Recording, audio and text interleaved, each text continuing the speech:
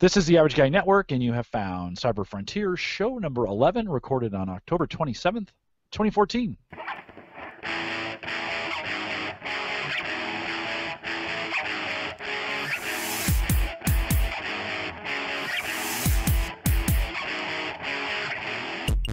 Here on Cyber Frontiers, we explore cybersecurity, big data, and technologies that are shaping the future, all from an academic perspective. I'm your host, Jim Collison, broadcasting live from the Average AverageGuy.tv studios here in Bellevue, Nebraska. And of course, we post the show with world class show notes only because these guys do the show notes out at the AverageGuy.tv. If you have questions, comments, or contributions, you can contact me. Send me an email, jim at the Average AverageGuy.tv. Of course, you can find me on Twitter, and many of you have. Although Christian's Twitter is catching up quickly, so that we can talk about that at the end of the show. At Jay Collison, or now call in those questions 402 478 8450. Leave a message. We'll play the question right here on the show. It's a great way to get your questions in. All right, joining me tonight from the security fortress that is the University of Maryland College Park and sporting his red Maryland gear, Christian Johnson. Christian, how are you? Hey, I'm doing good, living the life of Terrapin Pride, as as mentioned. Uh, things are going well. We find ourselves as CS majors just um, taking that, that momentary breath after the end of first midterms as we then realize that the way they have designed our CS curriculum, we get to prepare for our second midterms only three weeks after the first ones were over. So what the word mid really means is kind of a lost definition in my book at this point. But other than no, that, we're certainly true, right? Yeah, but we're, we're doing well and charging forward. Good, good, good to good to see you again. And then of course over to his left, literally, I think, behind you. behind him, yeah. Behind him, right? Yep. Uh, Ashton Webster. Ashton, how are you? I'm doing well. Also glad to be done with my first round of midterms. And if I'm in a good mood tonight, it's because I'm passing all of my uh, public tests for my programming assignment. So that's Nice. always a satisfying uh, goal to have reached. Ashton, Uh, behind you, we've been watching the cereal boxes grow Oh, yeah. over the last couple of podcasts. So, so tell me what's going on back there, real quick. So uh, I'm trying to think which ones we added. We added a bunch because we had finished a lot of things this week. So we have like we have some more granola bars and maybe Cheerios and stuff like that. And what's it going to Um, do when it's? Are you just throwing them on the wall, or is it going to do something when you're done? I- I mean, they're not gonna dance or anything. They're just gonna stay there. I the reason why we did that is because people will walk into my room, and w- for like two or three weeks we didn't have anything up here. So it'd be like, oh, you should put up like pictures of your family, or, um, you know, you should decorate in some way. And I'm like, well, I don't have anything to decorate with, so I just put up the uh, the up covers the of cereal box. Well, it's And- always good to see the inside mind of a college student and, uh, and what yeah. art is indeed. So, very cool. Welcome. Well, if you're if you're a regular to the show and you're out on the live page, either live uh, or live two, um, Christian and I have effectively broken the chat room uh, over the last uh, weekend. I paid $25 for Christian to buy the SSL certificate so he could up, update uh, the averageguy.tv to be fully encrypted. And uh, so if you go out there now, you'll notice look at look up there in the URL. Just look, it says HTTPS up there. And so uh, that, really all that means, uh, Christian, is that the NSA is not listening anymore, right? Is that Well, that, I don't know if it means that, but it means so. well, I figured I'll take anybody who will listen to this podcast, even the NSA, if they want to sneak if they want to sneak in and listen to it, they would be more than welcome. But we spent a little time, Christian, talk about that upgrade real quick. Yeah, so we went and covered this on a previous episode of Cyber Frontiers and also on Home Gadget Geeks about the implementation method that I have been kind of rolling out on an as needed basis with the services I've been running. And we're using an incredibly uh, low cost, affordable uh, certificate from Comodo that is sold through one of the resellers um, through the Namecheap.com brand and that allows us to get a five-year certificate for 25 years. So I popped that onto the Apache servers. Yeah, 25. or 20. sorry, yeah, 25 for five years. So it's like five. years, sorry, higher level math, and um, and so I just you know generated our certificate signing uh, receipts and had those certificates signed over, and I'm turning on sites with HTTPS as needed, and that's both for the security value and also because um, HTTPS is now given slight preference in Google search rankings. So, and I've actually been able to measure and verify this is the case. Um, the site uh, that many of you know I run, biostashmods.com, took a very nice uptick in uh, Google Webmasters after the migration was complete, and I'm seeing about 4,200 click-throughs per day on Google, which is up from about the 3,800 it was hovering around before the implementation. So I want to say that's attributed to HTTPS, but um, that remains to be seen. So. All right. Very cool. Well, so uh, it's all set, all secure. Give it a try. We broke the we broke Chatwing. We're gonna we're gonna have to fix that, or uh, maybe have to pay some premium. So we'll we'll get that fixed. Everything else, I think. If you do notice anything on the site, let me know. Uh, Jim at the Average Guy. TV. All right, let's dig in. Ashton, uh, why don't you take a second and introduce our guest? Yeah, so you might have noticed we have a uh, a special guest tonight. His name is Jay Ellis, and uh, he's at the at Stinger Ghaffarian Technologies with me. He is uh, he goes by many names. The senior staff manager, um, security evangelist, or senior security officer, what have you. Um, and he's here to talk about his experiences and share some stories with us. So uh, should be a good time. Hi, Jay. Great. Thank you very much, Ashton. Uh, good to be here, guys. Yeah. So just to just to interject, um, it's pretty cool to actually see three people who have managed to be affiliated with SGT in some capacity and uh, get together to talk. So, uh, for those of you who aren't familiar with the name, SGT is the second largest shared service provider for uh, NASA as a contracting firm, and so they're a very um, strong uh, medium-sized business, I would say, about 2,000 employees now on contract and in corporate, and they do a variety of contracting services from the federal government, ranging to NASA, NOAA, um, etc. So, uh, really great to have Jay on, and Jay has had a significant amount of program management experience both both at SGT and previous positions. So we really wanted to take a deep dive to uh, pick your brain tonight about some of the things that you've had hands-on experience with and what the challenges are that you've seen both the data side and the security side. So um, we're looking forward to having that conversation. So let's go ahead and dive right in if you're okay with it. Um, why don't you just Absolutely. give us? Sounds good. Yeah, perfect. So can you give us a brief overview of what you're currently doing in your role at SGT and what your program management responsibilities are? Sure. Thanks a lot. Uh, actually, let me talk a little bit about what brought me to SGT. You mentioned uh, some of the um, experience I've had prior to SGT. Uh, actually, one of the main business development folks at SGT uh, is a woman by the name of Phyllis Kay, who was the president of AdvanceMed was a Medicare contractor that I worked for from 2003 to 2013. I was the SSO there. Uh, I was there while they grew from about 250 to 600 people. They were managing about a third of the Medicare claims all around the United States. Uh, had a you know very substantial data warehouse uh, that we needed to uh, um, maintain as well as you know keep secure. And uh, and so Phyllis came to SGT a couple years ago and uh, that's who I was my introduction to SGT. So I've only been there about a year, uh, but my experience, I think you guys have probably more experience, at least a number of years working with SGT than I do. Um, but it's certainly a, a, a, very dynamic environment, like you said. A lot of very good, uh, high talented individuals working at, at Goddard, variety of different places around uh, the country for NASA. Um, and specifically at NASA, what I'm doing now, um, contract called SGSS, which stands for uh, systems, uh, grounds, it's actually the ground systems for all of NASA's um, TDRS satellites. It's a constellation of satellites uh, that is used to basically be like a telephone network for space. So it used to be in the old days before NASA had uh, this constellation of sat satellites, as spacecraft or rockets would go up, they would actually lose communication with the ground systems for a period of time. And uh, um, so, in order to, to remedy that, NASA put up this constellation of satellites that would allow a re- that's why it's called TDRS, um, tracking data and relay, relay system, and actually relays the data between all these satellites and ensures that the spacecraft will basically have 100% communication uptime uh, while they're in space. Um, so what I, what they're now doing is these um, ground systems. Um, SGSS is actually the name of the system.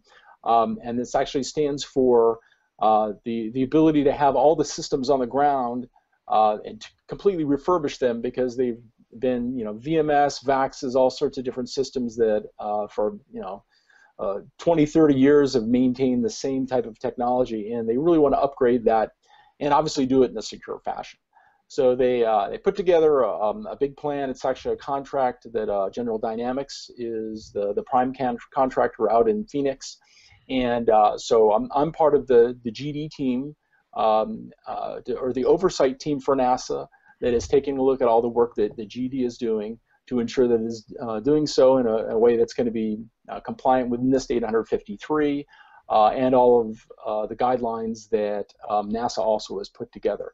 So, and th this is no small feat as well because a lot of these are non-IP type systems or RF, a lot of radio frequency uh, communications between the satellites and the ground systems, and and that's actually probably the biggest learning curve for me is is everything that I've done in in my career so far has been all related to your typical IP networking, and this is uh, um, sure. a rather big learning curve for me. But uh, but it's really exciting, and I think a lot of the same rules uh, related to uh, um, the you know the NIST 853 apply here, and so that's really my expertise that that they're uh, uh, they came into play and why why they brought me on board. So that's kind of an overview of what I've been doing, and I'd be glad to dive into any any parts of that if you guys have more questions.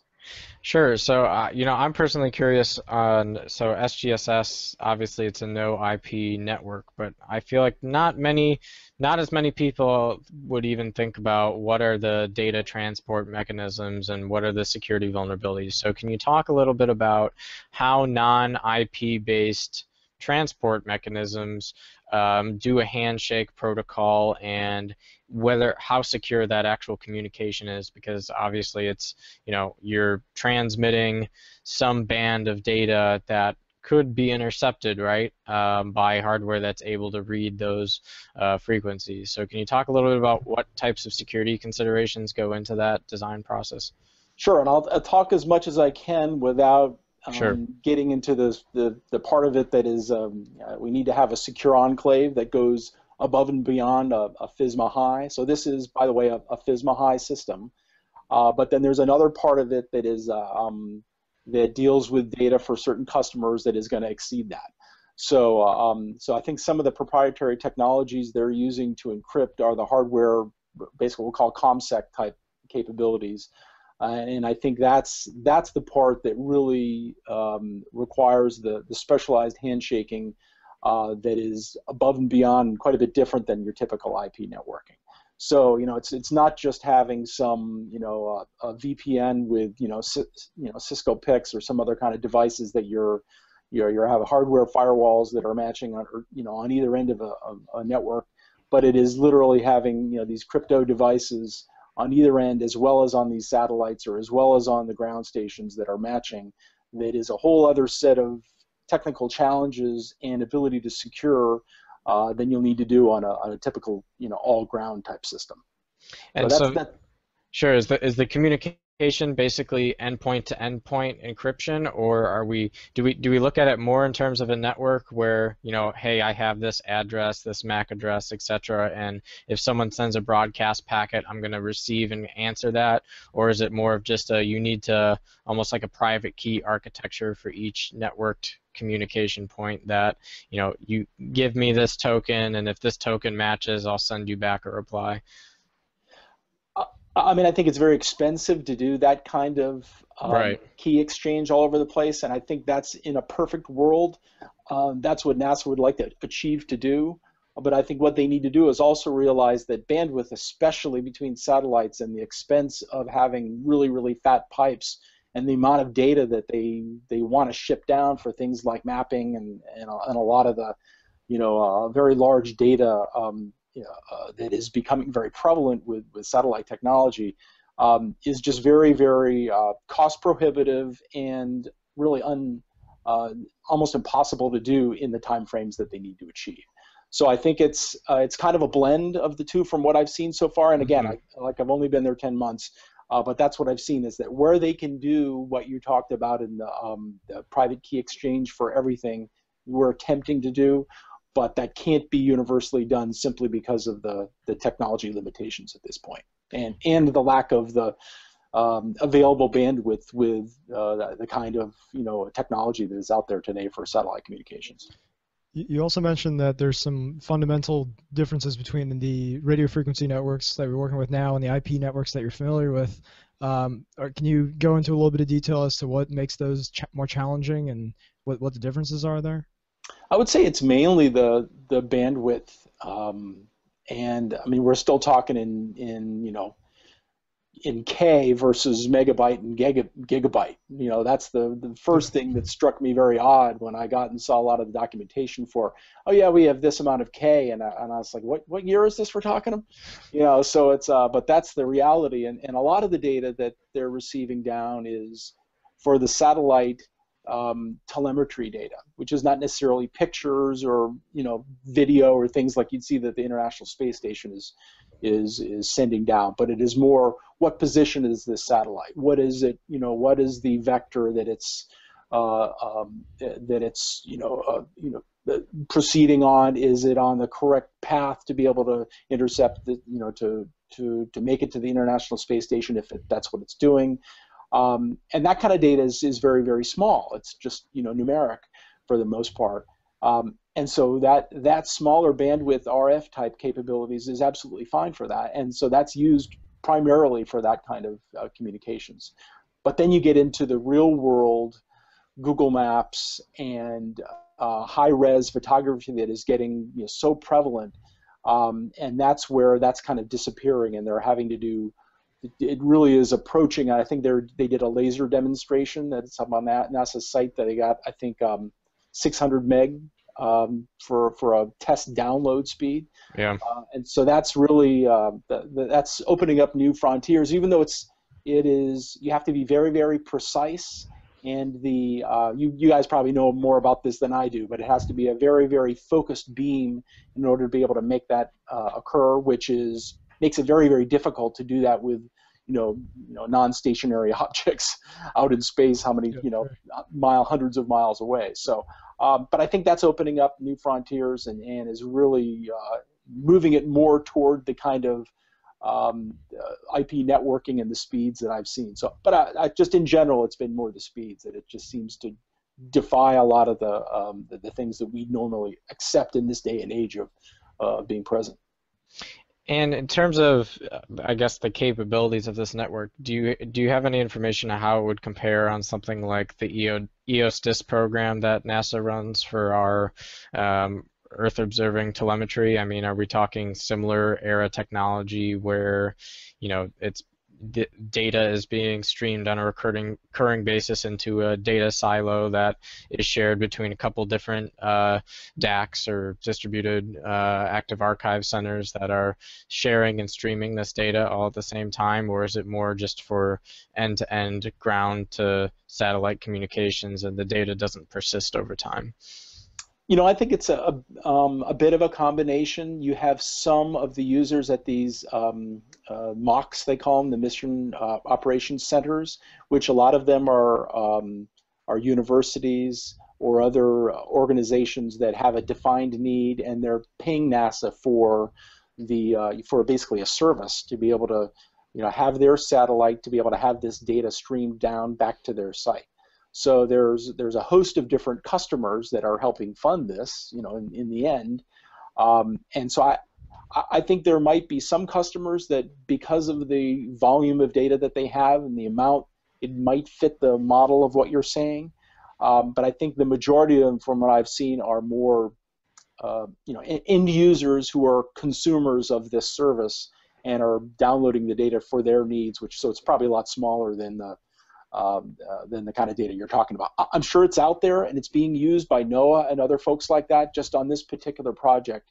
This sure. is more, like I said, just a, a net, kind of like a communications network for space and the uh, um, uh, and the and the ground systems for that. So, and actually, SGSS is should really be named SNGSS. It's Space Network Ground Systems Segment Sustainment, and that is really what that stands for. That's the overall five-year modernization project. So. Gotcha.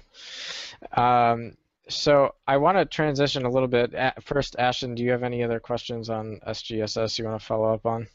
I think we, we did the deep dive. Uh, I'm ready to sort of transition into, um, you know, back back down to earth, if you will. All right. So um, I was at a very interesting uh, talk today with uh, Bill Fraser, who gave a lecture on some of the entrepreneurial challenges in kind of venture capital startups, Silicon Valley, where the market is working, where the markets are broken, etc. A very interesting talk, uh, very in depth.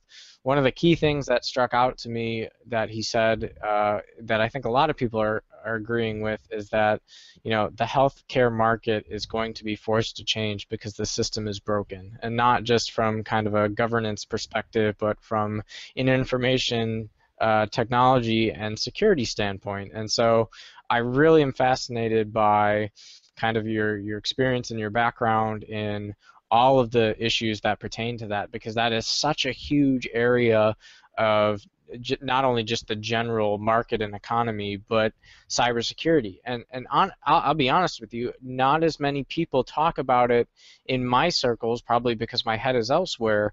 Um, but it's a huge issue of importance that there are a lot of problems we really haven't solved yet. Um, so it would be great if you could kind of give us an overview of how you how you entered into that market, what type of development work you did in the security pertaining to healthcare and IT systems, and what you foresee and and are seeing some of the existing challenges in that market being uh, apparent. Sounds great. Yeah, so I actually started um, sowing my oats as a, um, a, an ASP web developer and then a manager of, of you know .NET developers and you know 4GL tool developers. This was back in the 90s.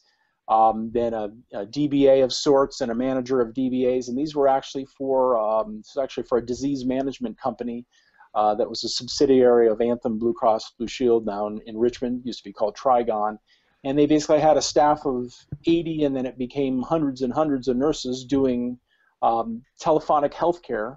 Uh, not telemedicine, you might have heard of that, but this was more a, um, a group of healthcare professionals, um, and they this company would market their services to companies or large insurance companies to basically keep their people healthy and keep them out of the hospital.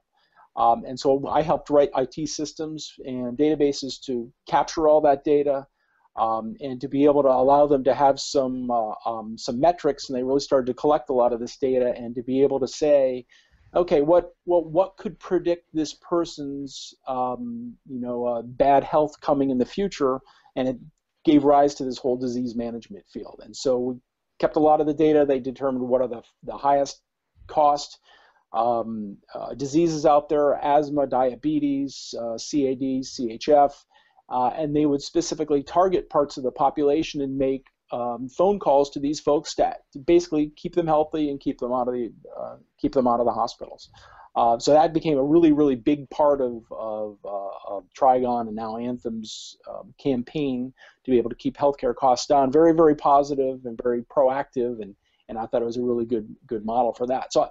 Uh, from there, I moved to be an employee of CSC, and AdvanceMed was a subsidiary of CSC and I moved into the Medicare space where I became a, um, a, contractor to the Centers for Medicare and Medicaid Services, working on some of their fraud and abuse detection contracts. It was actually kind of sad that uh, I think it's seven or eight hundred um, billion dollars a year is the uh, the budget for Medicare right now. So it's a huge budget, uh, and they estimate almost 30 billion in fraud claims are, are processed every year. So they they commit several hundred million dollars to contractors like I was working for to basically identify, detect, and prevent fraud, waste, and abuse. Um, and obviously to keep those systems, because you're looking for a lot of fraudulent doctors who are over prescribing OxyContin and doing things like that, uh, and to investigate and, uh, um, and, and keep these people from from basically abusing the system or from just over um, uh, over uh, submitting claims that are fraudulent. So a lot of the hospitals will then, or chains will go in and submit things and oh, exaggerate claims and make them seem a little more, um, you know, add on more types of services when they, you know, somebody isn't getting them. Uh, and so a lot of the work that uh, AdvanceMed did was to do a lot of analytics to determine, okay, this person is is getting a lot of physical therapy, but they never had any kind of MRIs before. They never had any kind of services that you would expect to be indicative of why this person should have physical therapy. And or there, this one mobile um, uh, MRI shop has been doing 15 MRIs a day for the past five weeks. Why is that? And it's because they're set up in a hospital park or a, a, a physician's parking lot that he's in coots with and is able to get them every one of his patients to go get an MRI, even though they don't really need it. So a lot of the analytics that AdvanceMed did was to look at outliers and the type of uh, data that we collected and to be able to determine, you know, just, you know, to predict and to go after these folks who are obviously not submitting claims um, in, in, an honest fashion and that, that, that were indeed fraudulent. Um, so that's the background of the business model of what AdvanceMed did. And, and so as I said, it was about 250 people when we started, about 600 um, uh, when I, after, the, after 10 years of having worked with AdvanceMed. And uh, the interesting thing is in 2012, CMS won the Cybersecurity Innovation Award for their continuous monitoring program. So I was there right in the heart of having to just started out as me as the system security officer and working with a lot of the IT staff. And by the time I left, I had a team of four. Um, we had uh, devices in every one of our 10 offices that CMS had deployed. These were nCircle i3, IP360 uh, continuous monitoring, um, you know, basically Nessus you know, vulnerability scanning type devices, which were feeding real-time information back to CMS and uh, scanning us on a sometimes daily basis, and then creating a, a monthly grade and, and report card, which would be fed to all of uh, our government officials to say, here's how you, this one particular contractor is doing. Uh, so I think I was mentioning this to Ashton that it was um, it was it was before that happened. It was very very difficult to to convince management that um, and program managers um, that we need to change the way we're doing business here. We need to invest in you know Nessus you know vulnerability scanning and patching tools and and and um, and really meet the FISMA guidelines. Um, and it wasn't until we had um, you know CMS knocking on our door and putting these devices in our uh, our um, in every one of our offices, and then getting scored by the government, uh, was I able to be successful in getting the kind of um, you know basically being able to make the kind of change that I knew as a security professional we needed to make. Um, but it wasn't until that time, until we had that kind of you know tangible outcomes um, that you were basically able to, to make management realize that we needed to make that change. So that was probably the, the biggest thing for us. And, and I mean, it was a success. I felt really good about the, the work that we did. Uh, we went from being a, uh, um, you know, folks who had a um, rudimentary scanning and patching that would, you know, do your typical Microsoft Patch Tuesdays and maybe get everything into compliance within a month.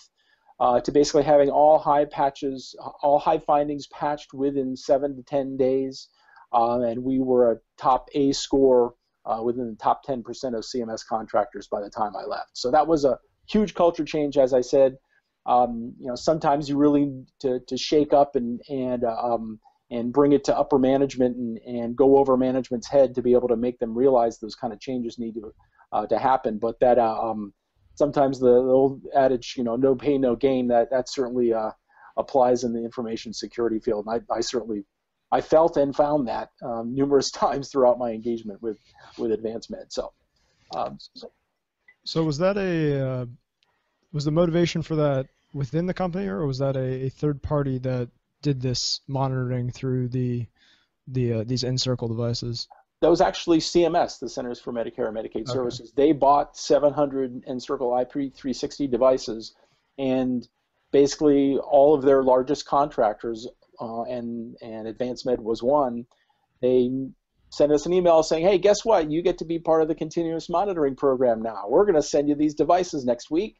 Uh, we'll have them send us your um, your you know Nessus scan of your entire environment, uh, enumerate all the devices in your network uh, and all of your subnets and and every part of your network, and we'll configure these devices so you can just pretty much plug them in and and, and let them run." Um, so that was actually CMS doing that. They actually had MITRE as their subcontractor um, working on site, working closely with us to be able to do the actual configuration and to basically be our in, in-house tech support. Uh, but it was it was CMS where those uh, devices were hosted, and we would actually go back to CMS's site to look at the results of these scans, so that we could produce these reports and show them to our management as well too. So. Yeah, that must have been helpful from a um, performance evaluation perspective because then you kind of got an idea. I mean, I imagine it would have helped to, to have an idea of how you were doing. Right. Yeah. Not only that, I mean, it, from a performance as far as performance of the network perspective, it was actually pretty difficult to to balance. We had our own internal Nessus scanners as well as the IP360 scanners, and we had to make sure that they weren't scanning at the same time. Mm. Seemed like double work, uh, but that was, and then kind of interpolating the um, or interpreting the results between Nessus and and Circle was sometimes not exactly the same. So we would have to uh, we'd have to try to figure out well why is you know why is this not exact? Why you know why why is this finding showing up as a high in nCircle versus it isn't in uh, you know uh, in, in, nessus? And then sometimes we get zinged with a score even though nessus didn't find it. So there were things like that that uh, um, but you're absolutely right it gave us a concrete score that helped me to be able to go to management and i would do quarterly briefings to say we have X number of findings. We have a B or a C or whatever the score was this month for this one particular office. Office. We need to get our act together here. We need to co- commit some resources. And so, as, a, as an SSO, it certainly helped me to be able to do that. Um, it, turned a lot of the IT people into you know patch management experts, and they probably didn't like me for having done that. Uh, but you know that's what they needed to do, and and then once they got the A score, then they owned it and then they were like, you know what, this is great. We have an A now. This is really really good. And so it really helped to turn them around once you got that. Getting them there, that was um, that was pretty painful, and I was you know, I was Doctor No for for a long time. That I'm sure yeah. they you know, didn't like me. So. Sure. So one of, one of the questions out in chat um, pertaining is what are some of the most noteworthy findings that this particular scanning device would give in its report that people said, oh, this is something we need to fix? Were there any was there anything that typically popped out for individuals when they got once they got these devices for the first time? Um, I think a lot of the the older um, persist. I can't remember any specific ones right now, but there are a lot of older persistent um, uh, patches that have not been applied. That there was basically there was no hiding anymore. And lots of times, if you couldn't do something like, you know, firmware upgrades, we had a couple. Um, uh, like SAN type devices, external SAN devices that were proprietary devices. We really couldn't upgrade the firmware, and Nessus would find these and flag it as a this is an old firmware or I can't find the signature for this type of device and they would just flag it as an in, immediately hide finding because it looked like an old um, piece of firmware. So that, um, that was probably the worst that we couldn't fix those versus the typical Microsoft Patch Tuesday things like that. It was just a matter of getting into a routine and having a good solid patch management you know uh, um, uh, you know, uh, infrastructure in place and the people to be able to do that, and the patch management tools. We had the Symantec um, patch management platform that really helped us to be able to roll out the, the patches. That without an automated um, management tool for rolling out patches, uh, it was pretty much impossible uh, to be able to achieve those. So that I, I think it's just finding those the, the those low hanging fruit um, and sorry to be so nebulous, but that was sure. I, I think the the firmware example was the one that was probably the worst. Sure. So were you able to sort of parse out the signal from the noise with those in terms of you had these uh, findings that were marked high but weren't necessarily the the highest priority or not necessarily as bad as they were made out to be by these uh, different applications? And just in general, were there other examples of uh, sort of just noise that, that you had had to filter through to get to the the real meat of the results. Yeah, I think those were the worst. That you know they if it didn't recognize the operating system, that it immediately flagged it and put it to a high. So things like that. Um, or if it was a you know something that was uh, you hadn't patched it in X number of months. If it was a really old OS, you know the the very obvious things were those were pretty easy. It was just you know the volume of work to be able to to, to, to get the environment you know, um, you know, back up to snuff. So if it if there were certain office, and, I think what uh, what we were able to ferret out is that there were pockets of uh, this company's network that were had been hiding and really hadn't been committing the resources that they needed to, um, and this really uncovered that pocket and uh, made those program managers wake up when they didn't have to in the past. They it kind of the program managers um, during that time had a lot of power over executive management because they were the ones who hold it all the held all the purse strings for the money for the contracts. So they were able to say, we need to please the customer. That's the most important thing. And by the end of this exercise, what you know, what they realized that we need to have a good score from our, you know, for our government customer to look at in the nCircle before anything, and then we can go and, and try to keep our customers happy or keep keep management happy. And that right. that was a wake up call for them. So. Sure. Um, one other follow-up question that we got about the um, what it was able to identify for the devices that were, you know, flagged as you know legacy, but we can't really update this firmware. Was there any type of containment procedure to continuously monitor them in a more proactive manner, or were they just something that became part of the IT security plan that the CISO would account for when doing record keeping? Well, you could do you could do both. We could actually have it as a, like a, a, plan of action and milestone to say that this particular item, these particular servers can't be patched. We're setting a X number of you know week, month guideline, uh, which we need to fix that by that time. But you could also put exceptions in the nCircle tool, which was actually a nice part of it to be able to say, uh, don't generate a high finding because we've we've got the government to okay this for the time being. We have a POAM to be able to mitigate this right now. Um, and nCircle was able to say either by IP address or by some other flag to be able to say ignore this and don't create a high finding every time. Otherwise, we'd have to go back in and and uh, um, uh, it would negatively affect the score. If everything but that one particular device was patched and you could get an A score, but if you have any one device or a, um, um, many devices that were out of compliance, that could either one of those could drop your score pretty significantly by two letter grades very very easily. Yeah, that's kind of what I was getting at with the signal and the noise question. Um, mm. Just wondering if you could configure it so that uh, apparently you can configure the, the the those monitoring services so that they aren't generating these these high high findings for things that are uh, for the time being not the highest priority. Correct, but we would have to get the approval. Right, from, right. So you'd have to go and, right. and so, have a plan for them, but um, they at least wouldn't be distracting from the, the the the high findings that actually needed immediate action. Exactly, and actually, but since MITRE was the the, the company who was in charge of of uh, maintaining those tools, in order to add any exceptions, they were the ones who had, had to approve doing that. So it wasn't just us. Mm-hmm being able to you know grant ourselves exceptions in, in essence. Right. So we would have to have we'd have weekly meetings with the team and we'd have to say yes we're on top of those servers. Here's the issue. You see we have a, a POAM item for the for these. Could you please put an exception in there for for these particular devices? So yeah, the tool was it was granular enough and had enough capability to be able to do that that we were able to um, and then we were basically getting graded on the rest of our infrastructure instead of always getting dinged for those two. Sure. So yeah, did a pretty good job of doing that. So can you give us a bit of a time frame on, I guess, when IP360 first kind of hit the hit the production um, pipeline, and at that point in time, uh, was or is IPv6 a technology that the IP scanner was aware of and capable of handling um, in the network, or was it an IPv4 based device? Now, it was pretty much all IPv4 uh, what we were responsible for at that time.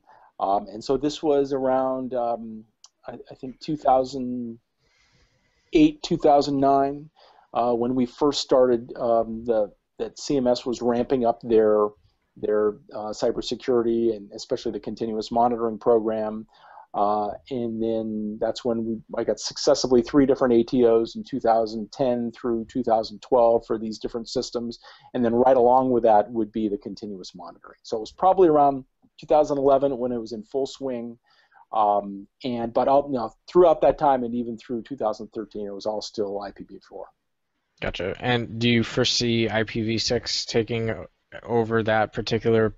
I mean, do you think do you think medical networks will be faster or slower to implement IPv6 than the federal government compliance standards have been? Well, it's interesting. I think uh, healthcare, like you alluded to, has always been behind in a lot of this, um, and a lot of whether not only just security, but just in IT in general. Um, and I think um, so. I can't imagine that they would lead in this, especially given the the lackluster you know adoption of a lot of you know, technology that I've seen in you know in the past. So uh, um, I would think it's probably going to you know it's going to be slow to come along. Um, but if there is a, a, security basis that could give the ability to, to have them avoid things like, you know, um, you know, compromise like the VA had, um, then I would think that that could certainly be a driver for, for them to be able to uh, adopt you know, a technology like that. Yeah, incidentally, I've um, one contract that I worked on for the VA for um, another customer um, since I worked for Advanced Med uh, led me to find out that the VA is actually now in putting in a lot of their RFPs um, uh, to, to, require encryption of data at rest. And this is even for data centers. So not, I mean, I think there's a couple different definitions you when people talk about data at rest. Uh, I look at data at rest as being you know, data that's in your data center that is never going to move anyplace, not, not electronically moving, but is, you know, data on a laptop or on a, a iPad or something like that, even though it may not be moving, um, you could take that device and easily take it out of a protected space. And now, so I, I call that data that is not at rest. Sure. Uh, but what the, what the VA has done is said, we want data at rest, data that's in your data center encrypted as well, because you never know if you have an insider threat who might be able to compromise that.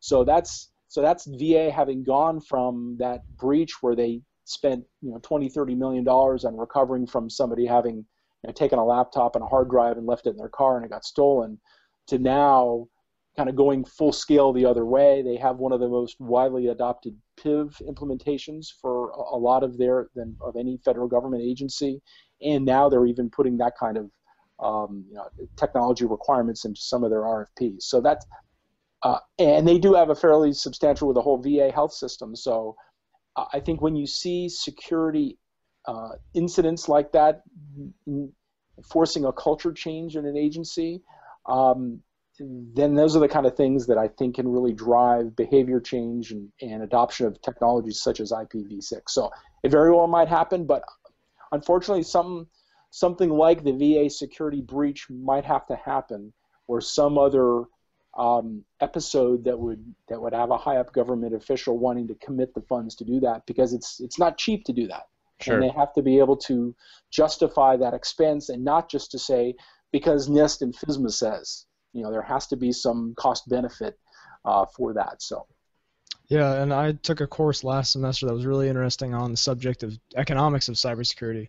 Right. And it's kind of just what you touched on. The only way that you're guaranteed funding for the next uh, quarter or year or whatever it may be is t- tends to be when there's a breach. That's when you can almost guarantee that there's going to be a lot of interest and a lot of funds dedicated towards the, fixing the problem. Um, and it's kind of a kind of an ironic thing because the, the, a lot of times the damage has already been done, um, but it is you know, I mean a lot of times it gets fixed, it's just too late. So uh, and you, you kind of touched on this before. In addition to it's difficult to make the case a lot of time, the business case for you know this is what the the bottom line is for implementing these cybersecurity measures to, to prevent the, the it's, it's really preventing the loss and re- reducing the risk of the loss, um, which is a challenging case to make in a lot of situations like that. Right. No, I completely agree, and that's why I would when I started getting a lot of those metrics from the IP360 devices, or even before then, I, I would be tracking things like here's the number of open, you know, plan of action and milestone items that I was tracking, saying we have these number of servers that are not yet patched, or we're this part of our infrastructure that isn't, you know, upgraded yet that it should that it should be. Uh, results from prior audits that had not been remediated. All those things I would put into a spreadsheet and I put into a, a report and show that to management uh, quarterly to say here's the number of outstanding findings that that we have. The government isn't here yet with these devices in our network. This was a couple years before the nCircle IP360 devices were installed. I said, but they're coming. And when they come, there's going to be no more hiding. So now's the time we need to prepare for that. And the interesting thing is, is the, the contracting officer representatives, the CORs or COTARs, I think they come by a couple different names, um, a lot of them don't want to have anything to do with information security. They want to get their programs funded. That they want to, you know, the work that we were doing, fraud, waste, and abuse detection. They have their their budget to manage. They have their contractors that they need to um, to, to to detect and prevent fraud and abuse. Um, and they don't have money with the budgets that they have unless they get an infusion of capital from somebody higher up at, you know, in the government to be able to implement security. So that we're we were caught between um, the security team and MITRE and the independent security wing working for the government uh, and the people funding all of our contracts who really didn't want to talk to the security folks because they knew they were just going to increase the cost of their contracts. Um, and so we had to find a way to justify in a politically correct way to um, our contracting officer representatives that you guys need to increase the budgets. You guys need, need to find a way to go get your budgets increased to be able to properly fund security. Um, and so we were able to go back to them and say, you know, all this work that you required us to do to put all these devices um, in our in, in, our in our networks. Um, and I kept track of all the hours. You said that MITRE was just gonna we were gonna send them all of our IP addresses and uh, just plug them in. I kept track, and it was about 2,000 hours between all the different network teams. And uh, oh, and by the way, you also want us to do uh, configuration management. Um, uh, scanning and to be able to make sure we're not just patching, but we also have configuration compliance too. Well, if that's the case, we need to buy a whole other security suite. So we ended up going back to the government, and I think uh, we got about a half a million dollars in extra wow. to be able to do that, um, simply because we we kept track of all this stuff that they were asking us to do, and you know MITRE and the security departments within the, the, government would be happy to you know continue to give us more requirements but they weren't the ones funding these programs. It was the other parts that were doing the fraud and abuse and other things. And so we if you just we just had to keep on top of it and you know in a in a uh, respectful and politically correct way say here's what the here's what you're really asking us to do when we look at what the security requirements are and what you're asking us, the kind of data you're asking us to host. We have a third of the Medicare claims data in the United States here, a couple hundred terabytes of data. This stuff can't be lost. It can't be compromised without having to send, you know, beneficiary, you know, beneficiaries, Medicare beneficiaries, um, you know, um, you know, uh, you know, provide them identity theft protection for a year if if we lose their data. Uh, we need to protect this data, and, and here's here here are the real costs for doing that are you guys prepared to do that? And uh, uh, it seems like that's sort of the, the practical side of cybersecurity is not i mean you can have the perfect technical solution but if you're not able to package it in a way that is palatable to the the uh, the, the financial side and the management side it, it's not going to happen um, and it seems like to be successful to a certain extent you have to not just be able to have those technical skills but also the the skills that are going to really market it and persuade people to, to get it implemented. Absolutely, so. and I think a lot of my job was to, um, uh, you know, build uh, build friendships with program management, uh, to be able to to be able to go to battle with them and to say you, you have a really successful program here, but you're not taking security seriously, you know, and in a, or, you know, um, in a in a in a way that somebody who doesn't understand you know what a vulnerability scan, what a patch is. Uh, program managers who are you know more like you know accustomed dealing with nurses and processing claims. You know, why should I have to patch these servers all the time? They, they work fine. What you know what what why do I need to do that? To be able to convince somebody who has a, an attitude like that of why you need to spend why you need to have three or four IT people instead of one or two to be able to do all this patching, and that's that that's a that's a difficult you know um, uh, position to be in, especially with dwindling budgets like we're happening lots of times too. So I think I was able to be successful in advancement, especially because we grew like we did. When when they were when their budget was increasing and we grew by two and a half uh, for several years, I was able to say, all right, you're going to add four or five IT people. We need to add a, a security body or two as well. Um, if they were shrinking or staying stagnant, and we would have had to say, you know, you need to take away a nurse or two and not do as much fraud and abuse detection and do more security. That's a lot harder of a job to sell that. Yeah, I'm sure. yeah, and so fortunately, I wasn't in that position. I was be able to be in the position to say, "All right, we're growing here. Let's grow security too." That's good. Yeah, and it made it a lot easier. So. So kind of uh, just changing subjects just slightly is you, you mentioned before that um, healthcare kind of lags behind in a lot of ways, and not just in sec- security, but also just IT and other things.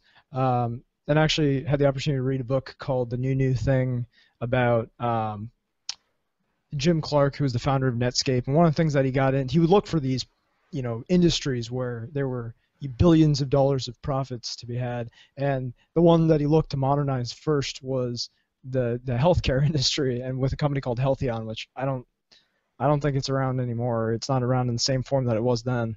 Um, and th- that was like 10 years ago now, I think, or more, 15. Has it, it, have you are you seeing that you know more and more it's it's catching up, or do you think there will be a point where healthcare is is uh, able to be on par with with other um, services, or even on par with the government? I don't know how those compare. Well, I think that um, the advent of newer technologies to do, um, you know, like massive, and I think you guys were talking about big data, you know, like uh, Teradata, I think has a formidable infrastructure that CMS is now using to do a lot of the uh, data warehousing for a lot of their Medicare claims and to look for a lot of the, the fraud and abuse and uh, um, different types of um, pattern matching like, like Advanced Med was doing. And we were doing it with SAS and a couple other uh, flat file type, you know, highly indexed, every row, every column uh, in these, you know, uh, type databases were, were, were indexed um, to be able to you know take a long time to build these databases, but really really quick queries to get out and to answer the kind of questions uh, that the um, that, that the analysts needed to have answered. I think with the advent of technologies that can help them answer those questions quicker, I would think that nowadays they're finally starting to realize that you know this investment is really gonna if we invest in some of these technologies, this is really gonna um, it's easier to make the, the cost benefit analysis based on the, the kind of tools that you have and the reasonable price tag that some of them had. You know, in, in the past, you you know, you'd have some solution that IBM would come up that might cost you, you know, hundred million dollars or something like that. When you know today you can probably get something for a fraction of that um, that you can install on you know some some VMs in, in your typical you know uh, internally hosted cloud. So that's and not have to get proprietary hardware and, and, the big iron like you used to have with IBM in the past. So I think the the cost point is getting to a point, uh, getting down to a level now that it definitely will um, give rise to them adopting the technology a little more quickly than, than they have in the past. Yeah. And, and can you speak to, in terms of, you know, you're talking about the database performance and being able to index quickly, do you have any um, insights into whether or not data at rest and making databases behave with data at rest in a performance efficient manner. Is that something you guys have looked at, or is it a challenge? And have any third party um, kind of products or services been involved in making that uh, lesser or more of an issue for agencies? Um, I mean, I think certainly a lot of the tools that, that we used at Advanced Med were were focused. They were very healthcare centric. So they had um, a ton of algorithms already written for, for example, you know, get me all of the claims of this type uh, that that show you know anomalies related to the, the, the use case that I talked about of uh, you know a bunch of MRIs, you know, 15 MRIs a day within a, a, a very small window of time, or these services uh, being uh, granted without any underlying uh, treatment of care that would be relevant to those types of services. Sure. Um, and if you do that over, and not, now you're trying to do this, for example, for the entire state of California with billions and billions of claims over a, a two-year period of time. You can't do that with your typical normal hardware, and that's where I think having highly indexed, uh, super high performant big data type, you know, um, uh, you know, Teradata type and you know platforms is really given rise to you know some investments by you know not only the government but you know companies who are acting on behalf of the government that are smaller in size like I was working for because they can really answer those questions like the government wants to get answered. Yeah, and I mean also just in terms of data storage, I mean I imagine that it, just the just the price per hard disk in terms of density has changed so much in five years. I can't even imagine the difference in investment for storage in you know 2008 to 2013. I think you know, in 2008, it was like the cool thing when two terabyte drives were just becoming available on the market. You know, now we're saying that equivalent for six terabyte drives, and those are actually somewhat affordable. Um, and you can go on Newegg and pick up a three terabyte drive for 100 bucks, um, which I don't think we saw happening as fast as it did, and I think that's gonna, I think that's gonna expand and burst again. And five years from now, we'll be talking about you know 18 terabyte drives. Right. Um, well, you know, there's an interesting thing that we had some of these, the, some of the data warehouses that I talked about that were took forever to load. Some of the jobs we had were several weeks to load, and this was a typical, um, you know, enterprise infrastructure where you had, you know, all your your array of CPUs, you know, connected by, you know, dual NIC Ethernet, or if, if we were lucky to have fiber channel type arrays going to, you know, your, your large data storage and it would just take us weeks and weeks to be able to load those massive amounts of data.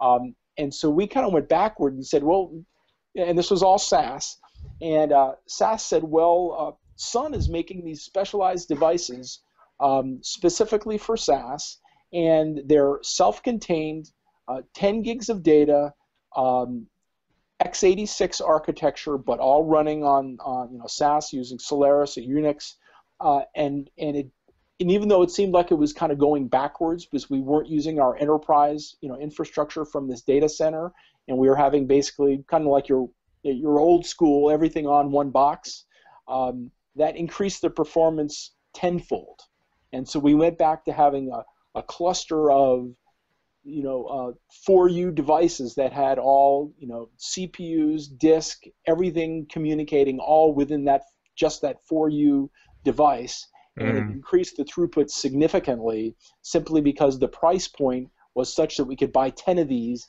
instead of invest in some EMC, you know, uh, infrastructure that IBM or somebody else wanted us to go spend, you know, five million dollars on. So it, sure. there's a the kind of a cost benefit. You need to look at what technology fits your your price point at that point, at that time, and that's what we chose, and it it allowed us to you know cut this down from several weeks to six hours. That's and, just one example. And so, uh, for medical IT, is there do a lot of vendors converge around a certain um, set of, I guess, brand names in terms of uh, relational database types and file systems, or are people kind of picking and running with what they want to for a given contract? Um, I think it's highly dependent on the, the the type of data and if there are algorithms specific to that um, to, to, that space. So, for example, there was a, um, a tool called DataProbe. Um, uh, I think it was a company that was a subsidiary of uh, Reuters at the time called MedStat. That they uh, um, highly proprietary database. It was the one that I talked about. It was pretty much all flat files, but every field and every table was indexed such that it was equivalently fast to do a, um, a query on any column that they had, and that's what we could never we could never index because of the the variety of different types of queries that people were going to look to do to look at mine all these different types of data. So this particular tool worked out great. Sure. Um, uh, other tools that are out there, I think like Teradata seems to be one that a lot of companies like CMS or a lot of government agencies like CMS and others are adopting uh, because of its high performance nature. Um, but then there's other non um, for non-structured, unstructured data, you're finding a lot of other databases out there that are not SQL based that folks are using. And I think uh, Ashton, that's like some of the work that we've been doing in our uh, the, the the technology center at, at SGT um, that give rise to folks looking at different tools like that. Yeah, sure. yeah, I know. We're using a lot of NoSQL databases, and uh, our our other coworker Rohit has been pushing us to to try them. Um, to to get experience with them because he seems to think that's the the way it's going to go in the future with the kind of more unstructured data being able to fit in there. So um, it'll be interesting to see whether that's the case in, in other fields as well, well like healthcare. But um, it, it, for, for now, I think the established patterns with SQL are um, are working well enough that it'll take some time. But I think if for some of the unstructured types of data that we would like to search, whether it's um, you know uh, video or voice or different things like that that's that that's sometimes you you'd want to tag this and use some kind of unstructured, you know, NoSQL type interface to be able to um, to be able to store that data, but then somehow maybe merge that with a, a highly ind- indexed infrastructure like I was talking about that you could use for the quick querying. So there, has got to be some, you know, convergence of these that you'd be able to get the, um, the, the, capabilities of both types of tools. Um, so you can get the speed as well as the flexibility like we currently get today. Yeah, yeah. and a lot of times the NoSQL databases aren't necessarily uh, slower. They, they still have indexing and they still can configure on what fields they're indexing. So a lot of them optimize that heavily. So it's uh, we're not too far away from the uh, you know that being a reality. I think we might have lost Christian momentarily. We did lose but, uh, Christian. Yeah, he. I think he clicked the wrong button and away he went. Yeah. He'll come back in just a second. Ashton, as we uh, we kind of bring this in for landing, any any last little tidbits you want to uh, you want to pull out of Jay before we're done here? I think we uh, we we covered pretty much what I I, I I heard what I wanted to hear. Um, if there's anything else that you, you feel like you want to say, Jay, that would be great. Yeah. Any final words, Jay? Um, sure. Uh, I think just the, the the use of technology in in a way that can, you know, obviously meet the customer's requirements, um, not break their budget, uh, and especially in, in in light of all the security breaches we have today, uh, keep security at the forefront. Uh, I think is where you know government agencies and companies are going to be successful if they pay attention to, to those three and and as an sso if you can do that in a way that doesn't um, anger management and allows you to keep your job then then that's even better sometimes it's an unfortunate uh, casualty of war the the uh, um, security officers are, are, are some of the ones who end up taking the taking the hit uh, I think the CIO of Target was the was the latest. Um, but that's sometimes those are necessary evils, and that's got to happen. Um, but I think it's the guys who can can make all those things happen and keep their jobs are the are the ones who are doing it right. You always wish you'd paid for it after the you know after the incident, right? You're like, oh, I wish I'd have paid for that, but right. you never know either, right? I mean, it is a it's this it's this um, balance between cost and effectiveness and and we struggle at Gallup of course you know we've got lots of data and we struggle with that question every day and so when you were back when you were talking about encrypting all your data at, at rest we have been kind of wrestling with that ourselves over the last couple years and have finally decided it will all get encrypted so we'll be moving in a direction to encrypt all our data at rest as well just for that protection of, of insider threat, right? You just never know who's going to grab that, and uh, and very few people will have access to those uh, those keys. So, um, just one of those things that you have to do. Well, Jay, thanks for taking a few minutes out of your evening. Uh, it's you gave up uh, you gave up an hour and a half for us, and we always appreciate that. And, and thanks for coming in, Christian. Absolutely. We didn't give, Christian, we didn't give you a chance. Any any last uh, words before we uh, we bail out of here? Yeah, I just wanted to uh, ask uh, as a as a summary wrap up question on kind of a scale of one to ten, where you thought based off what you've seen so far, where you think the medical industry is in IT, and how um, kind of how hopeful are you that those technologies are going to catch up in one direction or another as time progresses? Oh, geez, uh, it's probably um, uh, you know all over the uh, the board depending on what particular area you're looking in. But uh, um, I, I, mean, if you look at their capabilities and you use uh, Medicare.gov as an example, I give them a two. Uh, you know, with their lack of ability to stand up a website. Um, but I think uh, there's other parts that CMS has done a great job. Like I said, in 2012, they won the Cybersecurity Award of the Year. They they did as probably good of a job as any government agency in rolling out an enterprise infrastructure. Um, and I think now it's you know um, it's they just need to find a good balance there. Um, so, but I, I, would I'd probably give them a good you know solid seven or eight. And uh, I think they're certainly on the uptick, uh, and they're they're starting to do the right things with investing in technologies, the stuff you see at CMS and other government agencies. They're thinking enterprise. They're they're they all a lot of them have online tools to store your repository of system security profiles and information. So you're not just writing documents anymore. You're you're uploading this information all into a repository and generating SSPs and contingency plans out of these uh, online repositories. Um, that's some good leading edge type you know technology solutions that I see you know um, healthcare t- and other government agencies doing that that leads me to believe that they're that they're on you know on the way up to do the right thing. Sure. All right. Well, with that, we'll call it a wrap. And I want to thank everybody who came out uh, to join us in the live chat room as well. It's always nice on a Monday night uh, to be able to get a, a, a, handful or two handfuls, probably in this case, yeah. of, uh, of you guys out there and some really good questions. So we appreciate yeah, definitely.